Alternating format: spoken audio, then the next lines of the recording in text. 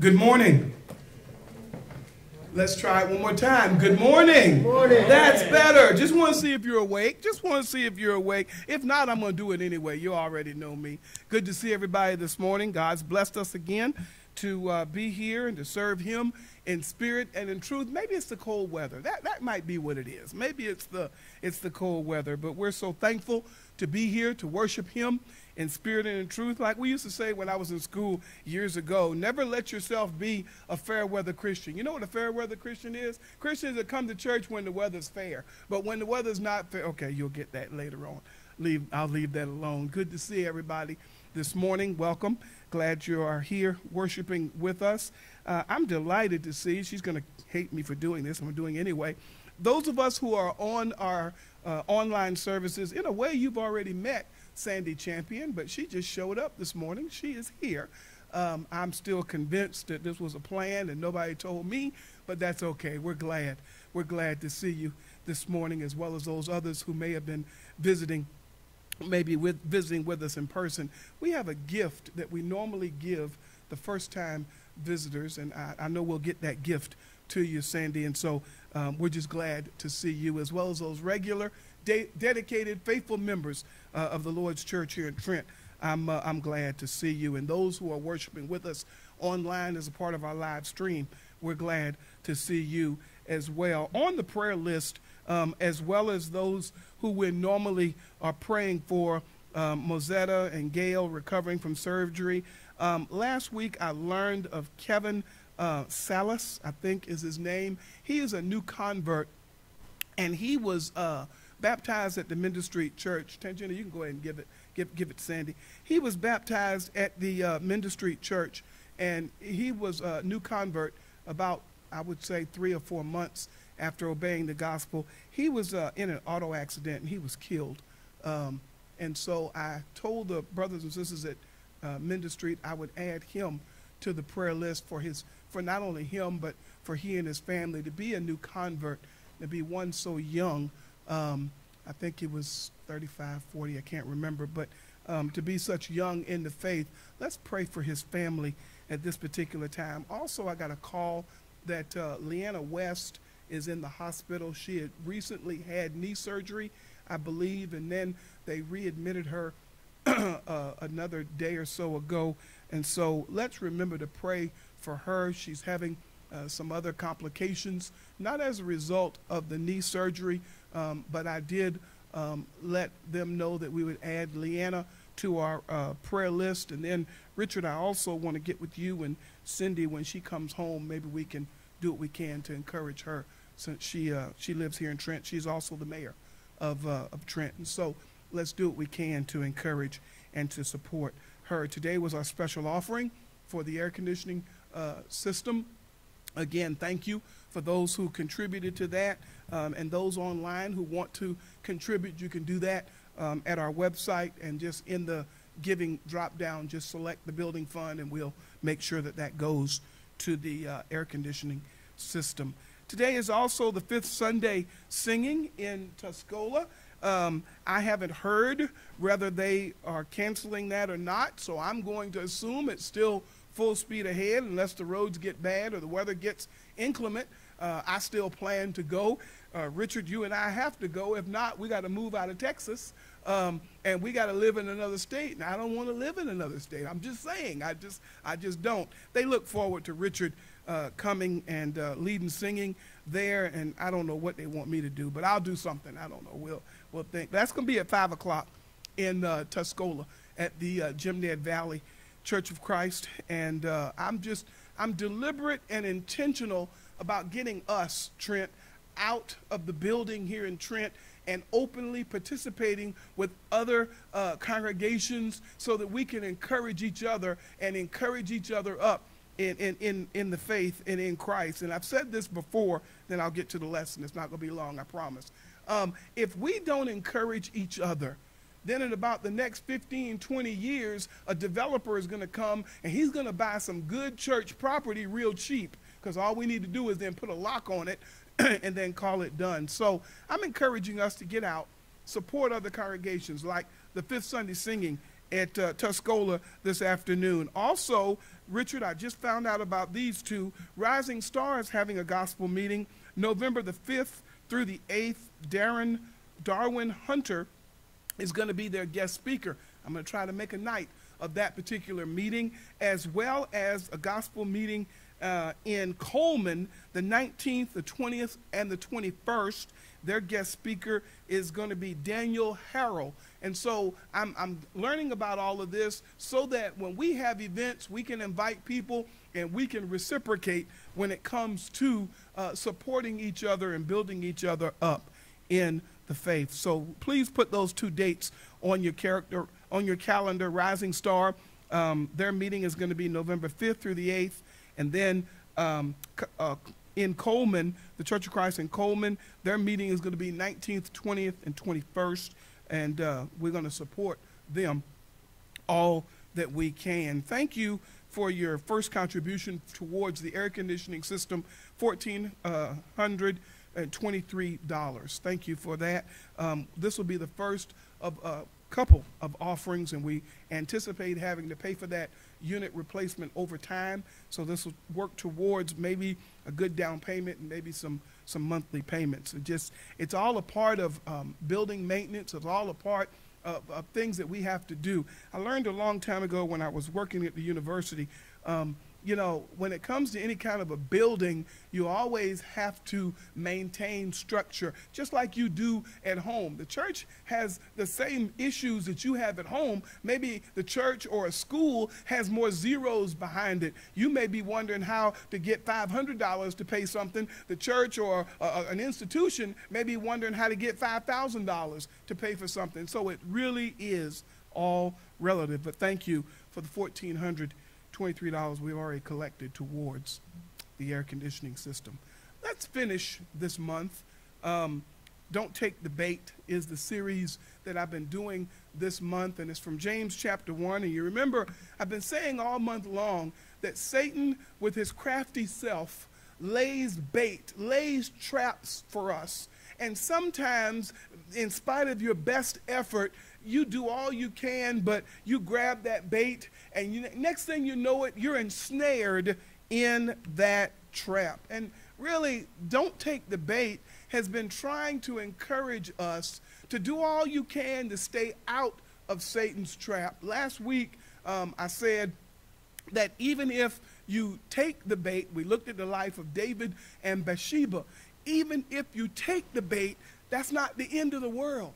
God can still work with you, through you, and use you just like he did with David. And the key is we have to make sure that we are penitent and that we repent and that we actually try not to make that same mistake again. You remember when Nathan the prophet came to David and told him that you are the man and told him that parable, scholars say is at that point that he went out and he penned the 51st division of Psalm, verse 10, where it says, Create in me, O Lord, a clean heart and renew a right spirit in me and, and, and blot out my transgressions. David learned his lesson. And then from that point, David was called a man after God's own heart. Let's finish it today. Don't take the bait. From the last verse uh, of that reading, verse 18, I want you to look at not being ashamed. The reading goes like this James chapter 1 and verse 12.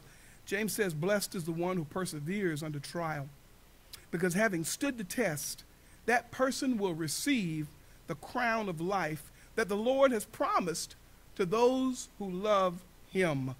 When tempted, no one should say, God is tempting me. But each person is tempted, verse 14, when they are dragged away by their own evil desire and enticed. Do you see the, the bait in the trap? Did you see it there? Same way you put the cheese or the peanut butter in, in the trap for the, the animal that you're trying to catch is the same way that Satan baits the trap based on our own evil desires.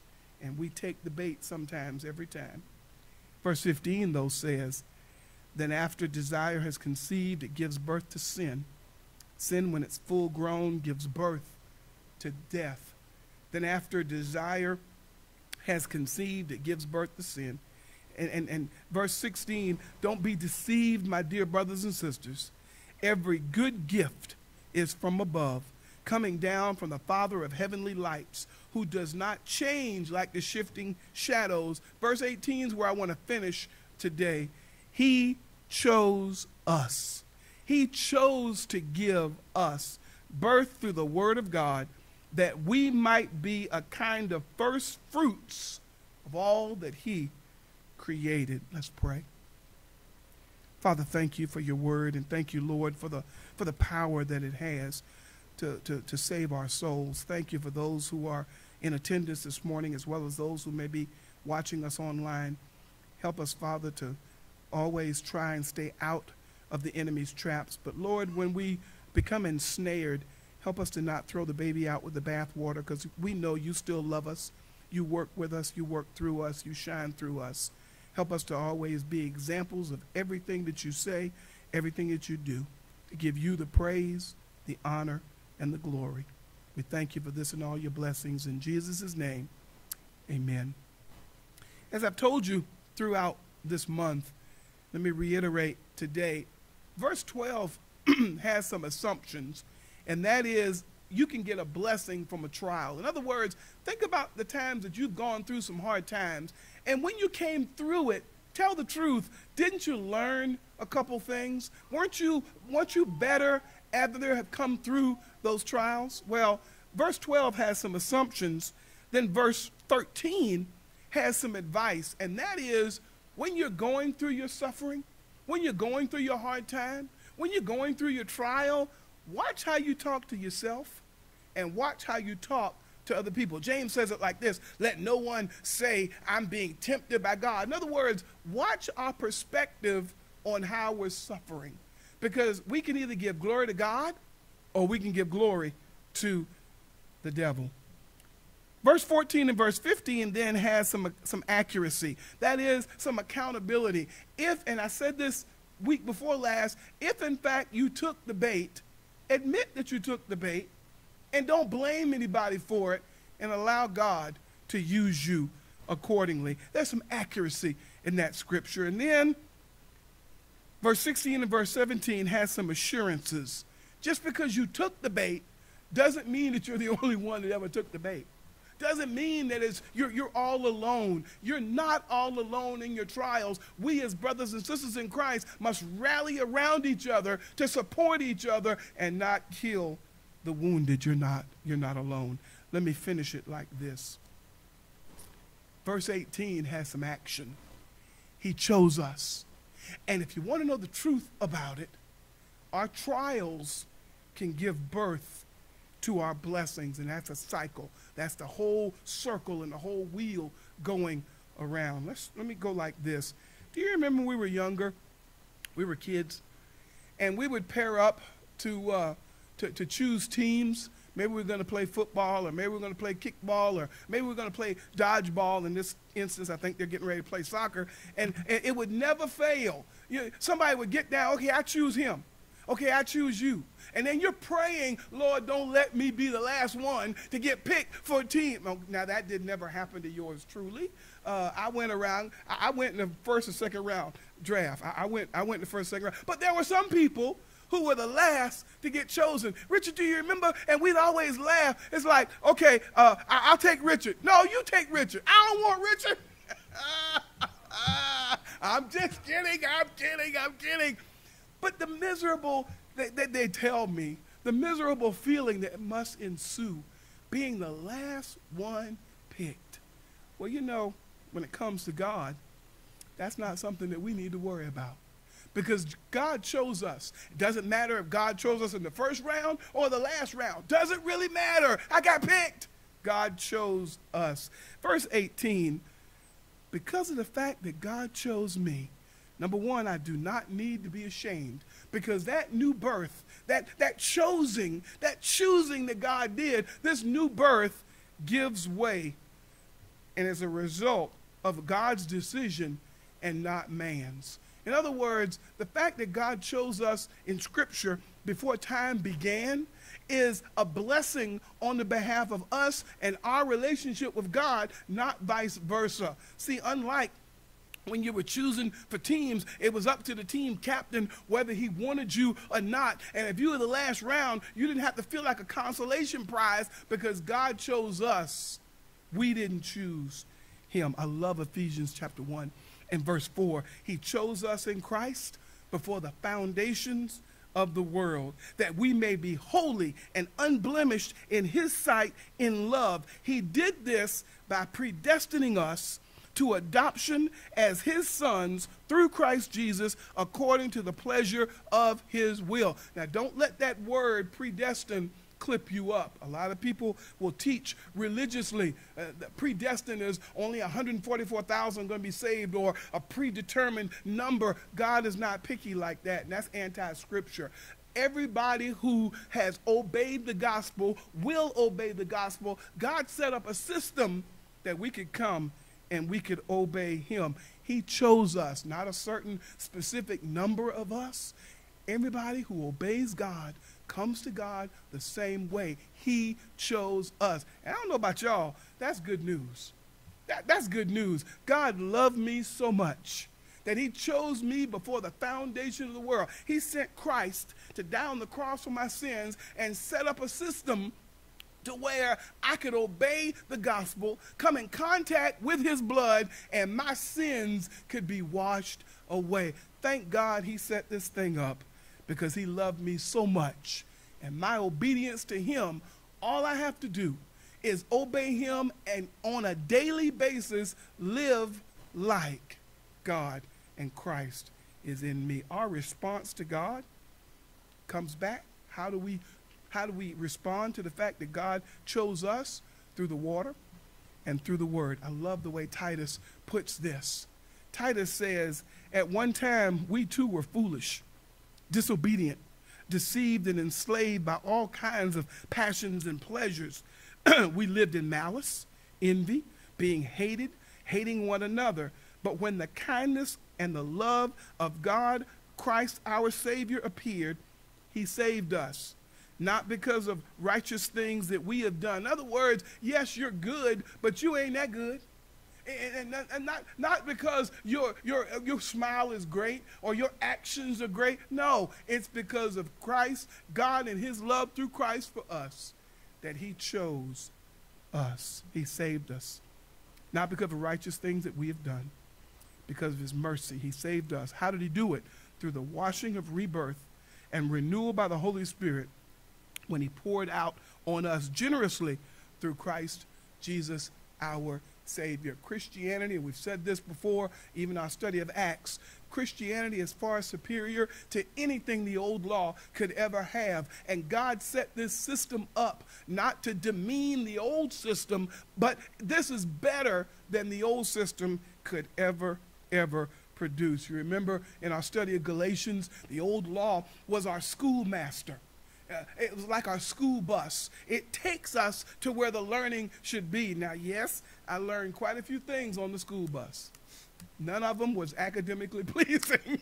but, but, but the school bus job was just to take me to school where the learning takes place. The old law, its job was to hold me, keep things in check until Christ came. Then, when Christ came, verse 6, he poured that out on us generously through Christ Jesus our Savior.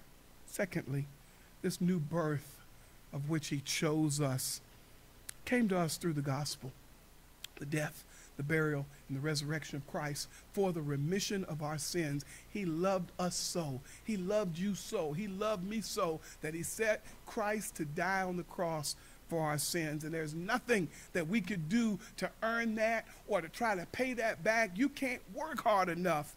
But our life and dedication to Him should be the biggest thank you that we ever should see. Ephesians chapter 1, I love this.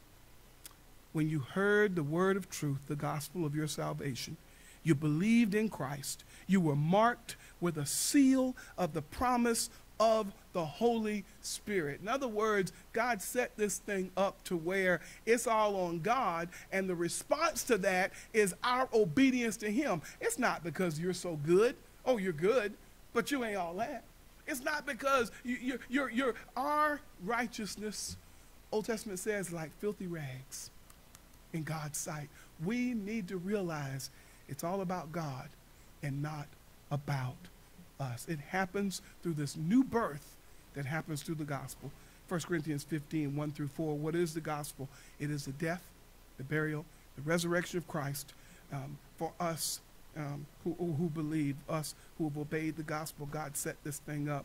Brothers and sisters, I want to remind you the gospel I preached to you, which you received, and you've taken your stand.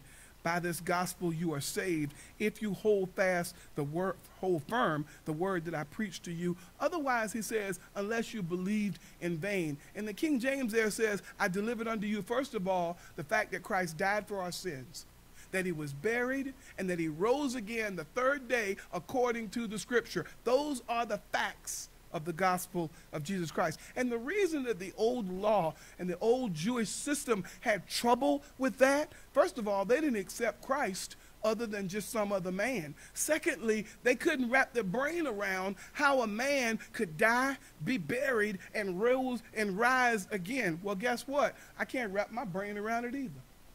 But I accept it by faith in Christ Jesus because why? God sent Christ die the cross for my sins. It's through the gospel then. This obedience to God's word that you and I become ambassadors. You and I, uh, Paul says, are, are, are like uh, a first fruit uh, of God's remnant. We are God's first fruit. In the Old Testament, the first fruit was the best that was collected, the first of the crop, and that first of the crop was either given to God or given to the people. You give the best of your first fruits. We become kind of a, a redeemed remnant. And like I said, this old Mosaic law, when it came to harvest, those first fruits, that first part of the crop was given to God. That's one of the reasons when we give our offering, we don't give to God from the scraps. We give from God off the top. God gets his first, not the leftovers, not the leavings. God gave his best for us. So when I get my little money, I get God, give God his off the top. There was a sister that I went to church with years ago, and she was on a fixed income. And I always think about this when you uh, when we talk about giving. And she was on a fixed income, and every time back then, Social Security checks were mailed; they were paper checks. And every time she would get her, uh, her her paper check, she would go to the bank. She would go to the same teller and that teller would take the check and she had that teller trained okay? Now i want god's money. And when i get god's money i want it back so much in tens so much in 20s so much in this. One day she went to the bank. She told me she went to the bank and that teller wasn't there. Maybe she was sick or whatever happened. And sister rosewell who's her name sister rosewell said little brother it took me longer to tell that new girl what i wanted. I said well mama you didn't you didn't get ugly with her did you? No no i didn't. She was patient and I said, Well, how, how did she have things turned out? She had a note written on her uh, pad inside her teller booth. When this lady comes in, make sure that you give her this many in 20s, this many in 10s, this many in 5s. mama, we used to call her Big Mama. Mama, Big Mama, you had the people scared to death. No, I just been going here a long time, and they know I don't play when it comes to God's money.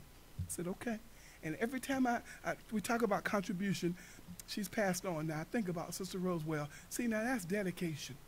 And that's putting God first in everything that we do. So when we give to God, I'm not talking about giving, not teaching on giving, but we give to God, we need to realize we give God based on our first fruits and not our scrap. It's a scripture if you need it, Exodus 23. The first fruits of your soil you must bring to the house uh, of the Lord your God. Everything that you get, God gets his first. God gets his off the top. Believers have been chosen out of the world to be God's possession, and we are especially devoted to him. Believers, we are to be holy, continually seeking to be righteous, just like God, and we are to be salt. We're not like salt. We are salt. We're not like light. We are light to the world.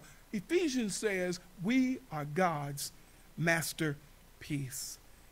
Chapter 2, verse 10, then I'm done. for we are God's handiwork. We are God's masterpiece. What's a masterpiece? A masterpiece is one of a kind.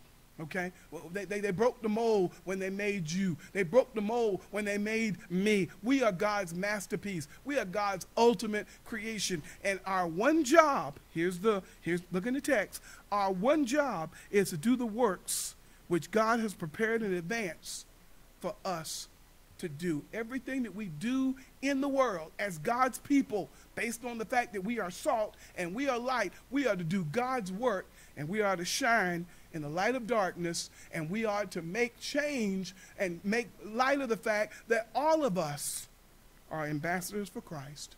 And people see us, they should see God magnified through us.